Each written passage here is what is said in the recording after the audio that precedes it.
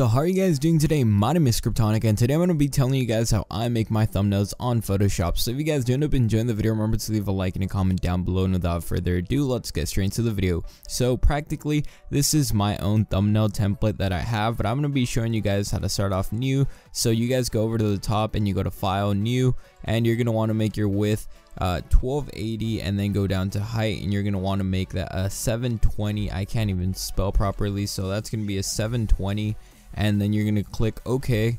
And once you have this this is all you're going to have a white background. And from here all you want to do is you're going to want to of course get an image of what you want. So I already have a tab open for Google and this is already on GTA 5 so I select this picture and I'm going to be showing you guys a really cool shadow effect that I never really learned which was really frustrating. So this is a 1280 by 720p uh, Photoshop files. So this picture is a 1920 by 1080 so all we're gonna want to do is just control T and we're just gonna want to minimize that and make it fit within the border. Once we have that inside the border you guys can see that it works well and it fits normally.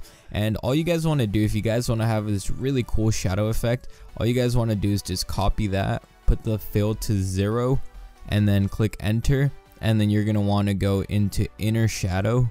Once you go to inner shadow you're going to want to do exactly what I do. Set this to 80 once you set this to 80 put this to 0 and put this to about a 80 and then once you guys have that you guys will see that there's like bordering effects. So all you want to do is to zoom out again and then control T on the one that you just did and then you guys want to zoom it out a bit more like get it in, you know center it you know what I'm talking about.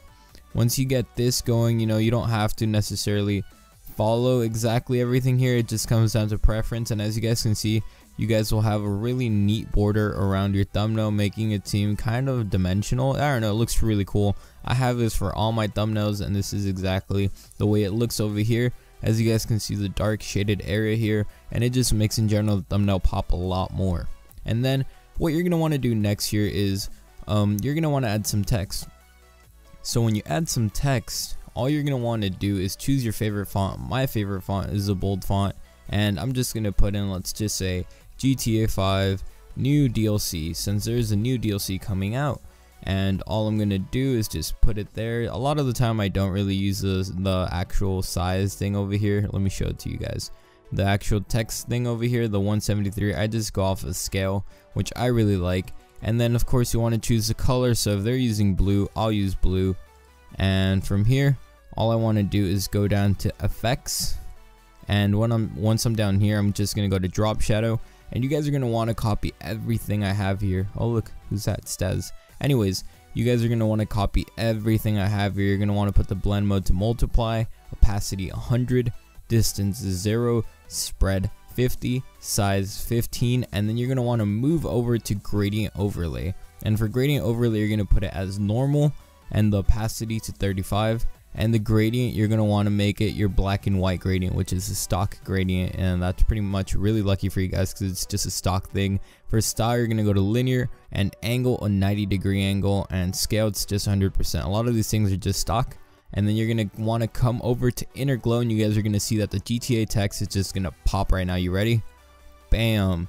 And then here all you're going to do is just overlay instead in blend mode it's overlay opacity 100 and then you're going to want to make sure it's a white color depending on what you want to do. I could always change this to kind of a blue color and you guys will see that it kind of messes with it so you guys want to do whatever you want but I want to make it shine on the inside so I'm going to make it a white.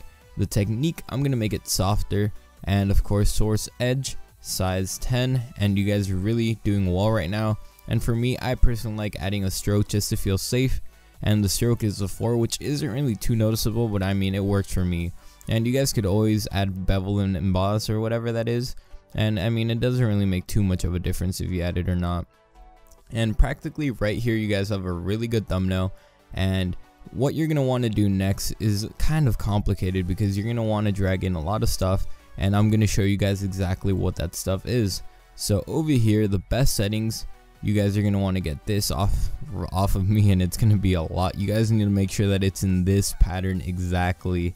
So it's going to be kind of hard, but you guys just stick with me.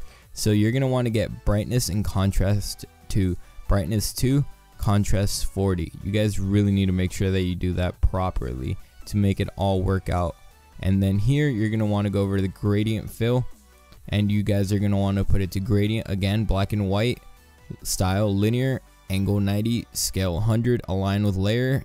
And then over here for curves you guys are going to want to just make sure that it's practically like that. It's really hard to do it like that. If you guys want me to i'll make a mediafire link and then you guys can download just this part of the file so that way it's a lot easier for you guys. But you guys i'm going to show you guys what all of this does okay so i'm going to move this over to my other file so you guys are going to be able to see what it does to the background and why i really want you guys to get this in general it's not really distorting the picture it's not improving the picture it's just making it look finer okay so when i turn it on you guys will see that everything just turns a lot better i'm going to zoom in just so that you guys could see Okay, let's zoom in on his face. Not too much. Wow, that was way too much.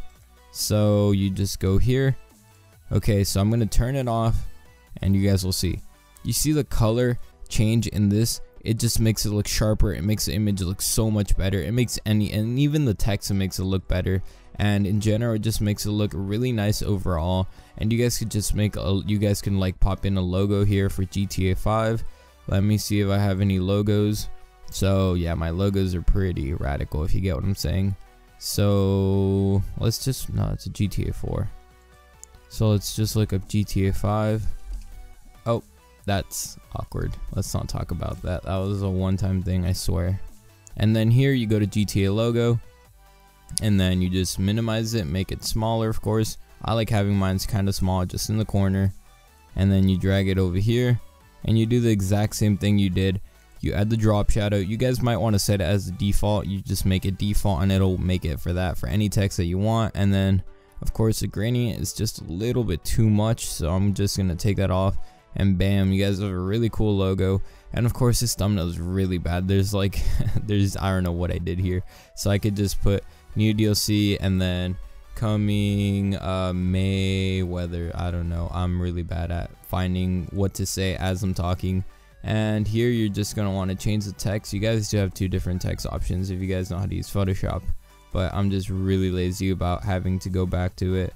And then here make it a little bit bigger I don't want it to match the length of the other one. I want it to be smaller so that people read the big one and then they lead on to the white one.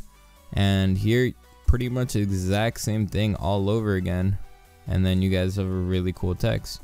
So I'm gonna make this a little bit smaller just because you know I want it to be eye-catching but not too much. And the best thing to do here I'm gonna make this smaller and then once I make this smaller I can make them both come up at the same time. Here I'll show you guys. So practically get both of those and then control on both of those. Whoops did not mean the logo. This and then control and then con and then shift T and it'll just enlarge it equally. And then you guys will see bam that looks pretty you know good. And then you just move it up and then you put some question marks you know doubt the people and stuff like that wow I really needed to burp there and you guys have a pretty good logo and everything set up so this is practically what my setup looks like I just have everything here and I just can turn off that shadow effect like I told you guys then I have my YouTube ending card right here and I just drag in the files there, make it a, a PNG and then it's see-through. I have my logo right there for Black Ops. You guys can barely see it down there because for some reason I turned down the opacity and I saved the file. So there it is. And yeah, pretty much tell me down below if you guys want me to put this combination down there and I'll put it down for you guys as a download link. And it'll just make your life easy overall. And you guys I've already showed you guys how well this works. So I could just go to best settings and if I move it up oh I can't okay. If I move it up you guys will see that it's just gonna make everything look really nice. So you guys will see the different color coloration there and it just overall makes any picture look nice look let's get another picture okay um um um um um, um. I really don't why are there so many weird pictures here Okay, let's get this one. Is it full? Yeah, okay, so this one, let's see what it does to the cars. So if we put it in down here and we shift it in there, um, the cars still look kind of weird. Yeah, but you can see that it adds really nice color to it. It makes it darker. So if you guys ever blame me for crew colors, stuff like that, no, it makes it darker. It makes it look finer. It doesn't make it look brighter. so that explains a lot. Anyways, guys, hopefully you guys have a great day. Tell me down below if you guys want to see more tutorials like this. Tell me if you guys want to see how I edit my videos so that way you guys can learn how to edit your videos and stuff like that. Anyways, guys, have a great day. Remember to leave a like and a comment down below, and I'll see you guys around, and I'm. Peace, guys.